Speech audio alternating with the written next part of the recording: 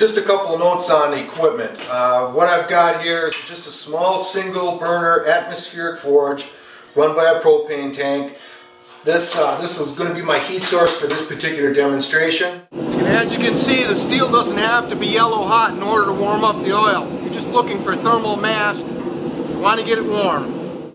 At that point, you want to get over to that oil quench as quickly as you possibly can, humanly possibly, anyway, uh, and get it in there.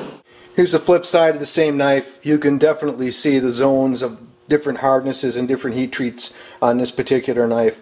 Uh, again, this should uh, wind up as a very, very useful tool. One thing you might want to consider uh, if you're going to do any amount of blade making at all is a programmable temperature controlled oven. Uh, again, this thing is worth its weight in gold.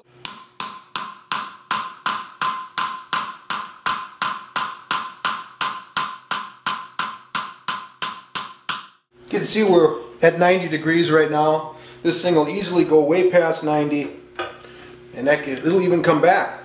You can go the other way with it too. And back. And back.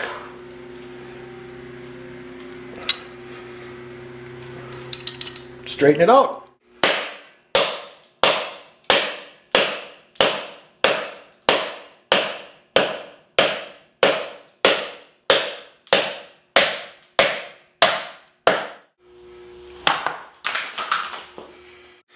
Well, this is the carnage from our day's testing. And there will be some victims in this too. Some of this cardboard and this rope is pretty much destined for the trash barrel. But as you can see with proper heat treat, a little bit of education on the steels and, and materials you use, you can really come up with some, some interesting stuff.